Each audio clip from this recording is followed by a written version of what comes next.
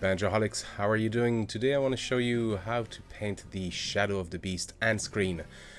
Now before I start, let me tell you what's going on. So I usually prep all my uh, wood, I'm painting on a piece of wood, all my wood uh, with white and uh, this one included, but what happens usually when I finish a painting and I've leftover paint is I use that paint to create patterns on another piece of wood.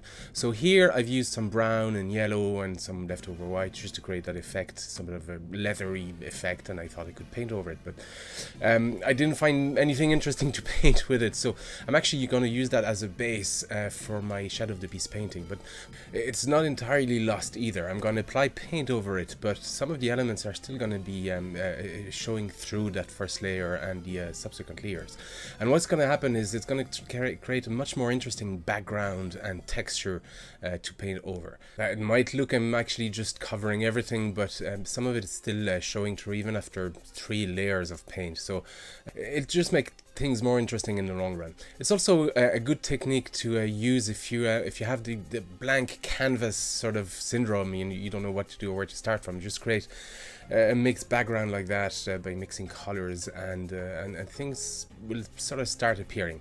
But here I'm, I'm creating my background so usually the, the sky um, in that scene is sort of lighter on the ground and, and darker uh, up above uh, and it just creates that sort of dark mist as opposed to um, white fog. You sort of get that kind of dark mist falling over the uh, over the uh, the trees.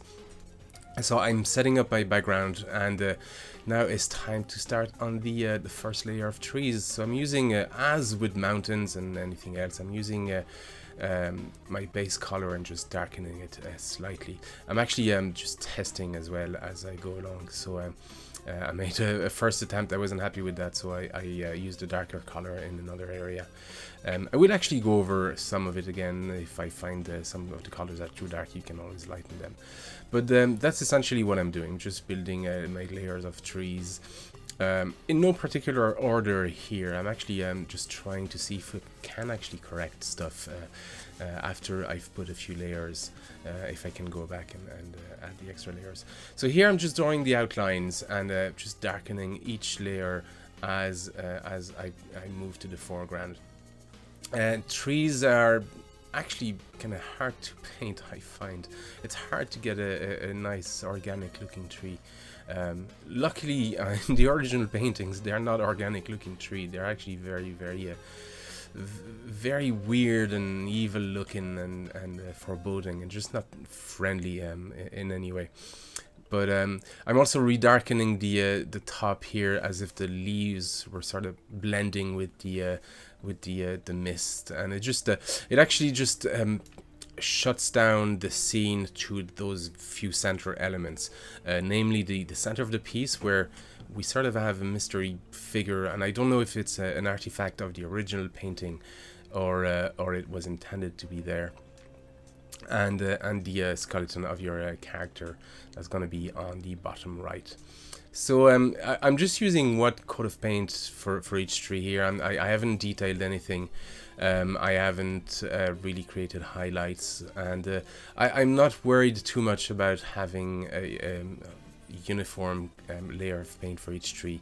Um, you know, it, it's far from uniform or homogeneous, and uh, I kind of like it like that. It, it just creates it creates small holes and groove and highlight points and anchors for um, for details that um, uh, you just wouldn't have if you if you had a flat opaque uh, layer of paint.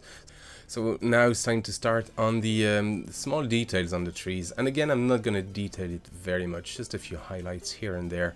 Um, the, the, trees are not the emphasis here uh, of the final piece. It's going to be that skeleton um, and the uh, the line between that figure in the middle and the eye of the skeleton is, is really your selling center point of the piece. Um, and everything is done in the composition to focus the eye onto that so the, the, the top is darkened and you see on the bottom um, left I have a darker area just to um, to actually draw the, uh, the line from the top um, down around and into the, uh, the the nose of that uh, skull of your character Uh, so it just it, everything in the painting or in the composition just drives the eye around back to the uh, back to that skull and that center area. Uh, it's not my uh, my own composition, obviously, and I, but it, it that's uh, that's how the original composition worked. Um, so here I'm starting on the skull and I'm just painting with white, um, the outline with white because it, it's a bit more forgiving. Um, I find if I make a mistake, I can actually just go over it. Um, with the uh, same paint as the background paint or actually if it's still fresh you can actually use a tiny bit of water on your brush just to dilute the paint and and, and rub it gently with either your finger or a piece of cloth. Um, and uh, as I'm uh, as I'm defining uh, my, my my shapes here I'm just um, drawing the uh, the shadows first and then putting the base color after the shadows. Um, it just gives me putting the shadows first just gives me an idea of volume and and where everything should be. If you put your your first um, base color first things tend to be just flooded with that same color and flatten and it's really hard to see what the volumes are. So I use the uh, my shadows um, dark areas first um, and sometimes you'll see me doing highlights as well shadows and highlight and then I put the uh, the uh, base layer and uh, and then I redo the shadows and highlight afterwards because uh, as I put the base layer some of the areas get painted over but because you can see them through the or the the, um, the base layer that I did after uh, second um, it's easier to redo. I'm not sure if I'm expressing myself properly, but um, uh, maybe one day I'll show you what I mean. but um, so yeah, I'm just refining slowly um, uh, details and uh, making sure my volumes blend properly together and, uh, and and everything looks nice. Make sure when you're doing this as well that you use very very thin layers of paint. Uh, it'll just allow you to correct mistakes and and and in general just you know you don't want to entirely cover the previous layer uh, either uh, you want some of it to um, to still be able to come through the uh, the last layer you put in uh, that's the way I work anyway um, and it, it worked for me um, you can see something interesting that's uh, happening as well as I'm painting is that as I'm refining my detail element, um, the background sort of uh, become less relevant or, or, less important to the eye. Uh, but the side effect is that it makes the uh, the small detail we've added that much more significant.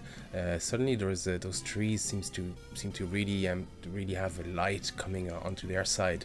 Uh, I haven't done anything more to that scene. It's just the fact that I've added one element, that one very detailed element in the piece, sort of has that effect on the brain. It's a very interesting process, uh, very interesting things to um, to see happen as you're painting in general, when you have a composition, it's really important to decide which element the eye should be drawn to. So it's it's typically one um, one uh, one element, one center point here, the skull, and a, a, second one that is connected to that, if if if at all. Um, so in this case, uh, I would say it's that middle clearing uh, area where the eye seems to be looking at. But um, so decide what element is detailed, and everything else should be less detailed that uh, that element. If you don't do that, your your your painting is going to become very very cluttered.